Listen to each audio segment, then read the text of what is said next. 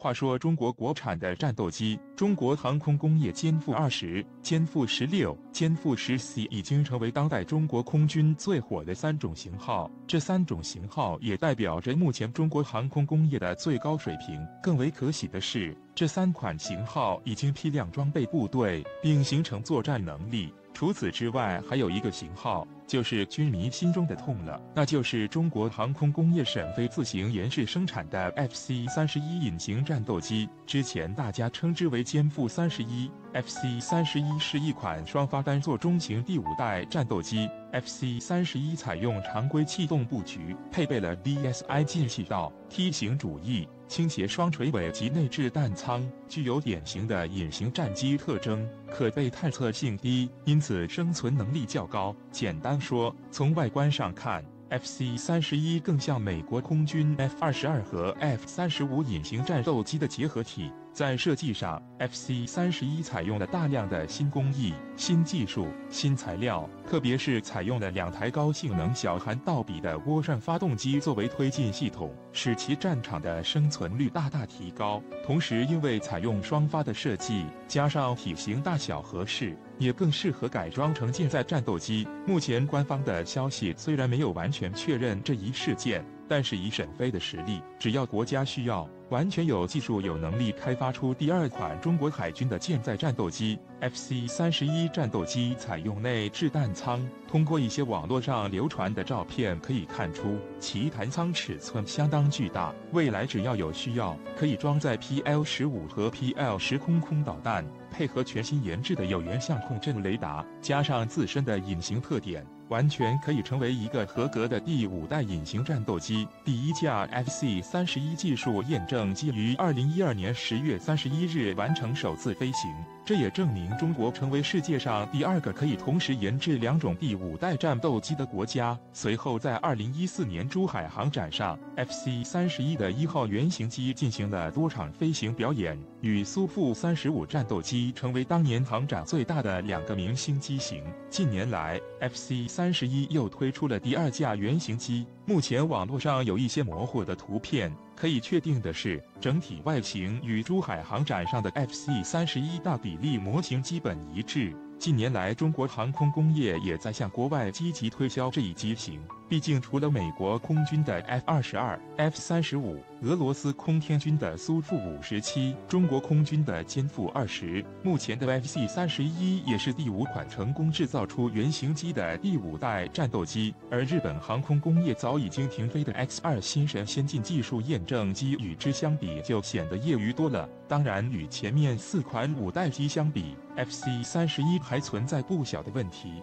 特别是发动机这一块。要知道。FC 三十一这样的体型，要想能够完成超音速巡航这些硬指标，必须拥有 EJ 两百和 F 四百一十四这样的发动机才行。而我国航空工业与之类似的发动机还处于研制中，我们也相信。只要军方支持，资金上到位，加上数十万航空人的努力，FC 三十一也会逐步成熟的。未来空军装备建设，歼负二十隐形战斗机身上的担子不轻，特别是将来面对周边数量众多的 F 三十五隐形战斗机，对我国空军和海军航空兵带来了不小的压力。但是有压力才有动力，相信 FC 三十一隐形战斗机成熟后。会成为肩负二十隐形战斗机的好帮手，强强联合才能更好地捍卫祖国领空的安全。十二月十五日，缅甸举行盛大仪式，高调入役中巴联合研制的枭龙战斗机，由此传播已久的枭龙战机首个外销用户终于浮出水面。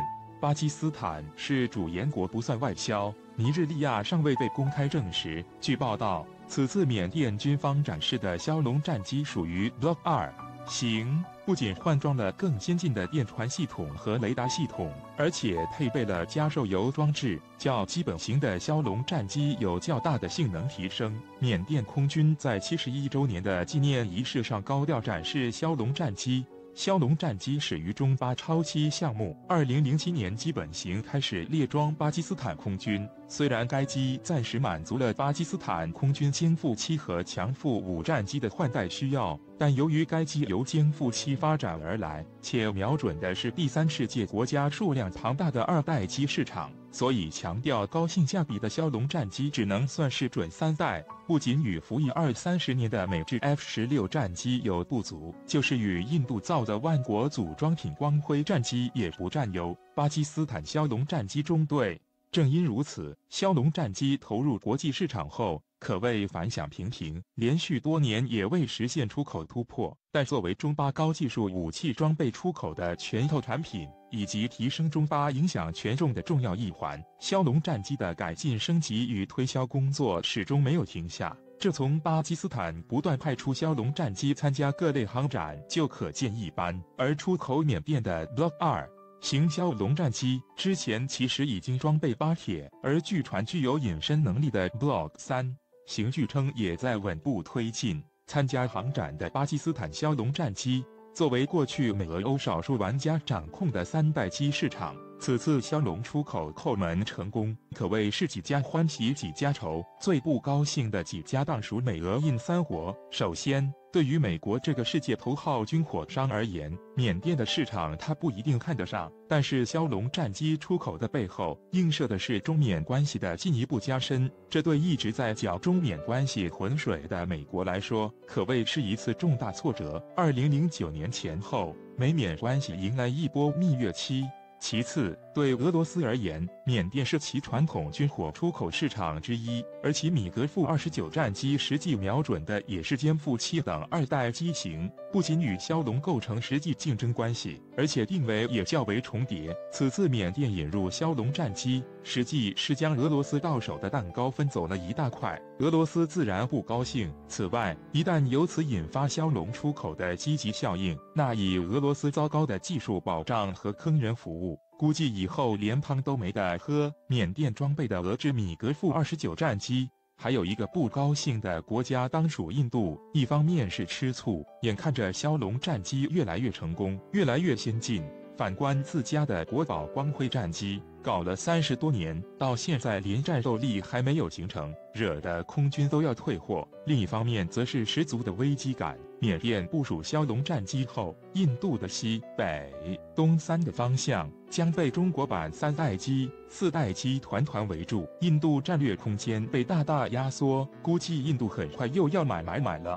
二零一六年，印度首款国产 LCA 光辉战斗机正式服役，研制历时三十三年。相对于美俄印三国的不悦，中国、巴基斯坦和缅甸则是十足的受益方。不仅透过战斗机这种大宗军火交易，进一步紧固了三国的密切关系，而且各自也都受益颇多。首先，对于缅甸来说，作为第一个引入枭龙的国家，相信在技术支持。服务配套和采购价格上都能享受到更多的福利，而骁龙优异的低空亚音速性能和经济性能，以及丰富的挂载能力，将进一步提升缅甸政府军空中打击反政府武装的效力。缅甸国内政治格局相当复杂，其次，对于巴基斯坦而言，本身就是骁龙的主研国之一，骁龙战机的出口。不仅会给其带来一定的经济效益，而且也将在一定程度上改变巴基斯坦武器进口国的形象。简单说，借助中国的技术和影响，巴铁一方面轻松具备了三代机研制能力，同时透过武器出口，有助于提升其在伊斯兰国家中的地位和影响。巴基斯坦枭龙战机三机编队演练，对于中国而言，可谓是终于打开了枭龙外销的缺口。无论是国际影响，还是地区平衡上都是巨大成功。所谓好的开始是成功的一半，相信骁龙在接下来几年内会迎来一波外销的小高峰。同时，骁龙的成功外销也表明了关系的稳固与紧密。其中很重要的一点。